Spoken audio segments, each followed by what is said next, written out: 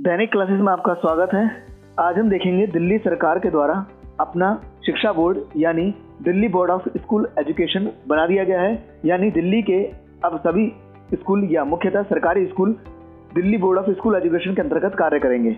समझते हैं इसे? तो दिल्ली कैबिनेट ने 6 मार्च 2021 को Delhi board of school education को मंजूरी दे दी है। अब दिल्ली का अपना शिक्षा बोर्ड होगा। और बात करें तो मुख्यमंत्री ने यह भी कहा है कि यह बोर्ड अंतर्राष्ट्रीय स्तर का होगा और राष्ट्रीय अंतर्राष्ट्रीय संस्थाओं से सहयोग इसमें बच्चों को पढ़ाने और समझाने के लिए उच्च स्तरीय तकनीक का इस्तेमाल इसमें किया जाएगा।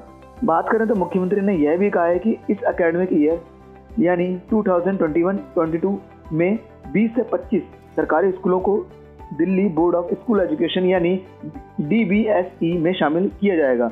इन स्कूल्स को सीबीएसई से हटाकर Delhi board of school education में शामिल कर लिया जाएगा।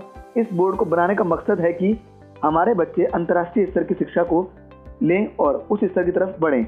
बात करें तो दिल्ली सरकार ने पिछले छः सालों में हर साल अपने बजट का 25 प्रतिशत हिस्सा शिक्षा पर खर्च किया है।